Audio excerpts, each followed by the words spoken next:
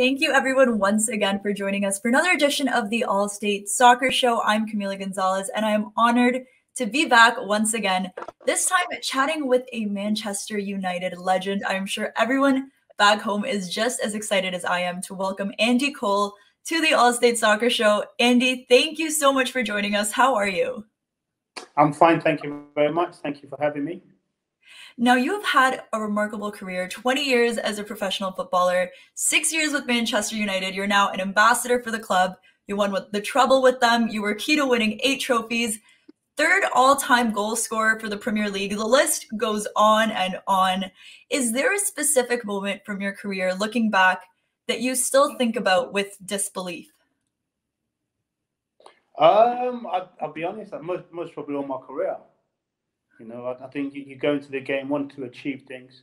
And fortunate for me, I've been um, very, very fortunate that I went on to achieve most things that every player would want to achieve. But I think winning the treble in '99 will always stick with me.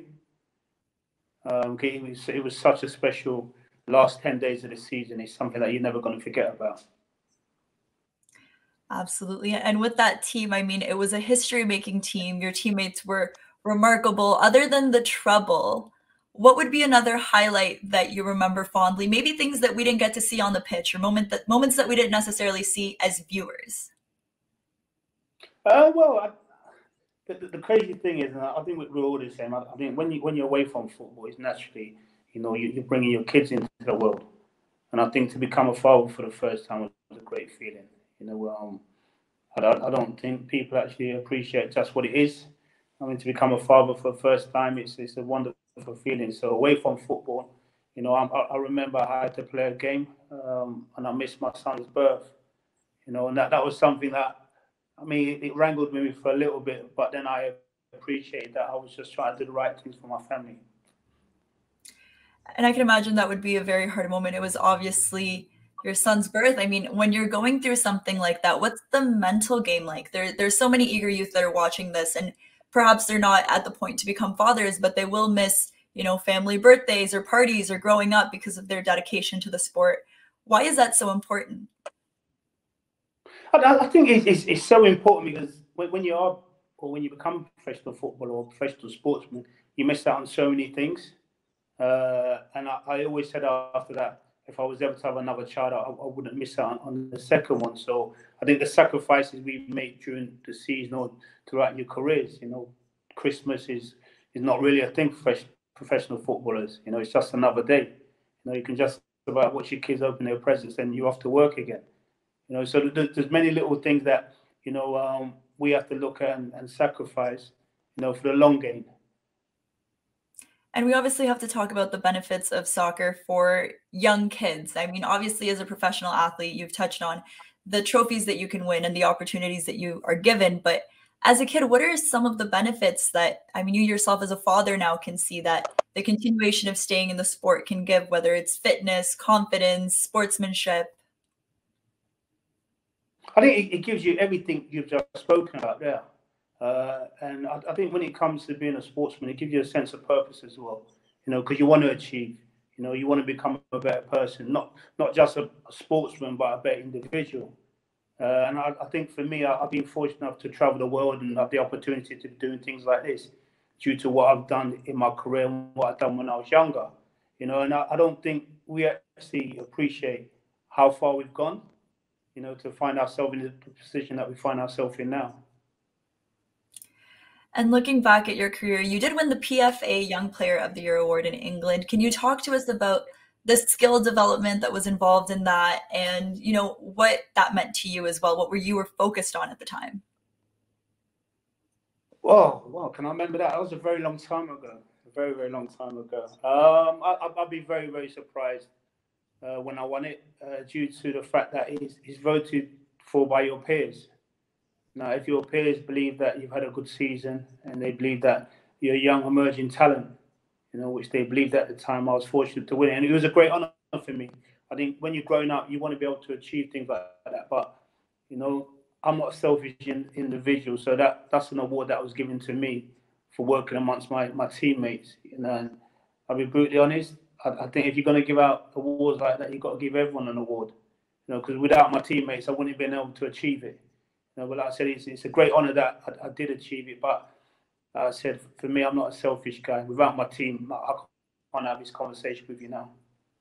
I absolutely love that because you have shown an example of partnership and of, of, working with teammates. And I think it's such an important example for all the aspiring players back home to really learn from you. I mean, can you touch on the partnership that you had with Dwight Yorke and what that meant for your success at Manchester United and what you hope aspiring players can take away from that because you're not trying to outshine each other. You work together as a team. You have to football is, is such a massive, massive team sport. Yeah, I know we're individuals in that, but you've got to work in the team frame. So my partnership with Dwight was that's what for me personally made it even more special. That we're two individuals wanting the best, naturally for each another, but for our team as well. And the way we gelled and the way we complemented each another, that's why so many people talk about it now because it was all natural. You know, you touched on it there. None of us tried to outdo each another because after nine, ten months of a season, you all want the same end goal, and that's to win the league. And we are fortunate to do that by working together as a team. And why do you think that partnership with Dwight worked so well?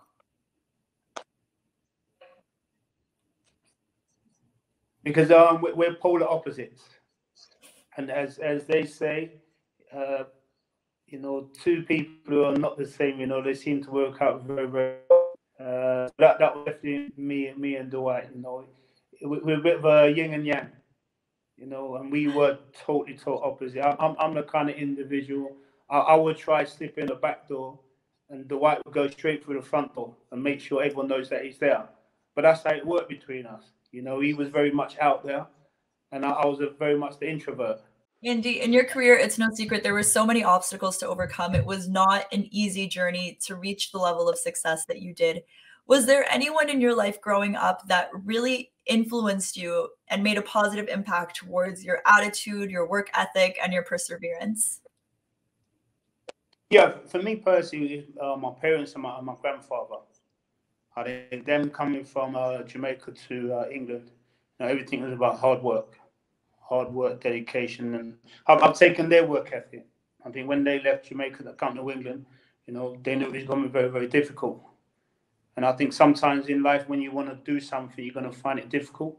Whatever you do in life, it's going to be tough. You know, mm-hmm. nothing in life comes easy. So you just got to work very hard at it and you know, I've had a lot of positive people around me to help me with that. And you did mention a very hard moment was obviously missing the birth of your son. But is there any challenge looking back in your career that still sticks out to you? And what was that process of overcoming it? Uh, yeah, we, we, we all going to come across obstacles, but that's what life's about. You know, we, we're all going to be faced with different challenges, you know, but um, it, it's, it's, it's a tough one because we, we all we deal with things in different ways, and I, I think I'm, I'm the kind of individual. I, I just want to try and work harder. You know, whatever whatever situation I find myself in, I'll just try and try and work as hard as I can do. You know, because as as they say, you know, it's you know what what will happen today, tomorrow's a different day.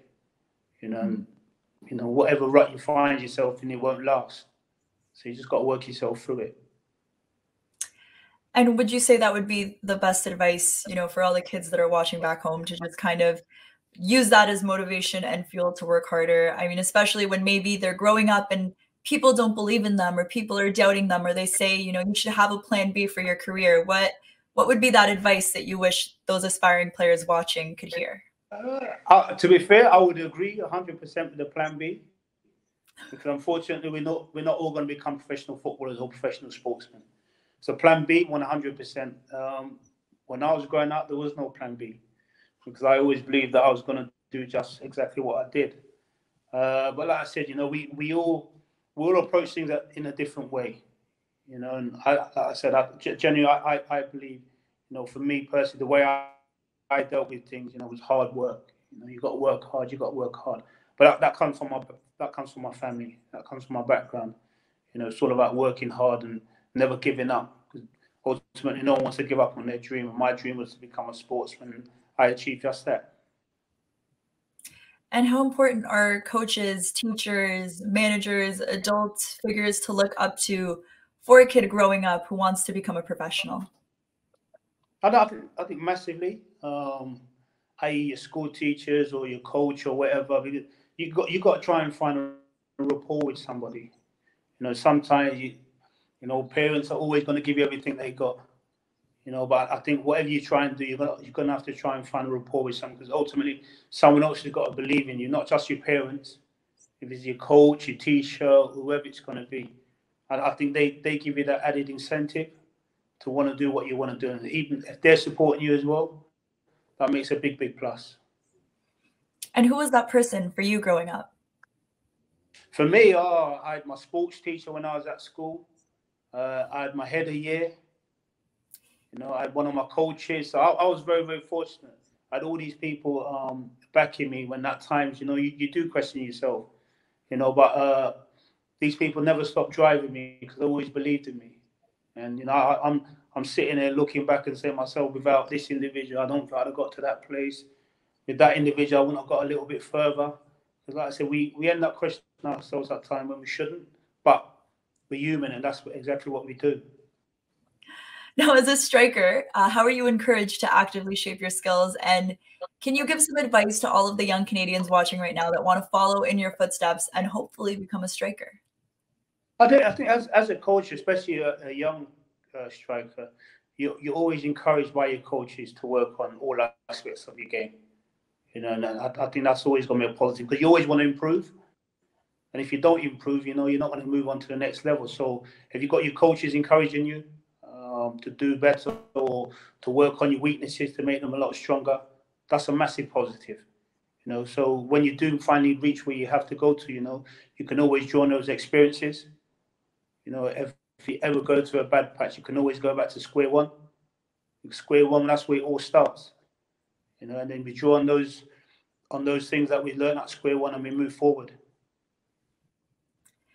And Andy, earlier in the interview, you mentioned something about just enjoying the game and making sure you enjoy it. And I'm curious if at any point in your career there was a moment where maybe you weren't enjoying it or you felt like you had hit a bit of a rut and how you overcame that. Yeah, yeah.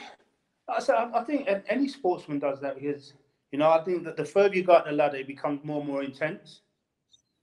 And sometimes we, we do forget about enjoying it.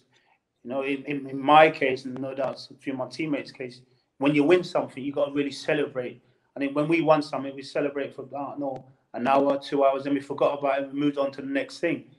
And we look back now and say, oh, I wish I'd have celebrated that more, a lot more, winning the league a lot more, the champions, whatever it may be. You know, you got to bask in those moments because they don't come around all the time. So for me personally, looking back at my career, I wish I enjoyed it more. All my achievements, that's what you got to do. That's why you work so hard to achieve those things. So when you do achieve them, you've got to enjoy it. And now, Andy, before we let you go, I do want to ask maybe something a little more open ended. Is there a question that you constantly get from fans that you still get about your career that you think maybe our viewers would be interested in knowing the answer to?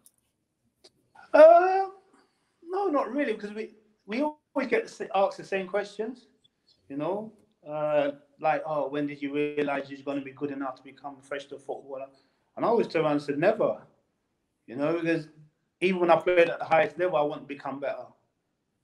You know, and, and, and that's, that's just it. You know, you can never ever stand still. You can never ever believe you've made it. And that, that was my key to, I think, to my success. Even when I was playing at the highest level, I never believed I'd made it. I'd always want to push myself on, you know, because that's what you got to do to start at the highest level you've got to work extremely hard and you've got to motivate yourself all the time. And now that you are obviously retired, do you ever sit back and look at your career and just realize how incredible it was? I mean, you give yourself the credit you deserve now in hindsight? No, I, I only look back uh, when we had the lockdown during the COVID period. Otherwise, I'm always trying to go forward. I'm always trying to move forward. And then I, I, I actually realized to myself and said to myself, well, you, he's an half decent player, by the way. You know, I, I, think that's the first time I've ever admitted to myself that I thought I was half decent. Otherwise, I, I never thought about it. I, I, said my kids don't really talk about it, and you know, I, I just want to try and help others now. You know, to to look at it and be positive in what they want to try and do. Amazing. Well, I would love for you to share for all of the viewers back home a message of positivity, a message of inspiration. There's so many young aspiring players watching right now, so it would be great if you just had a message for them.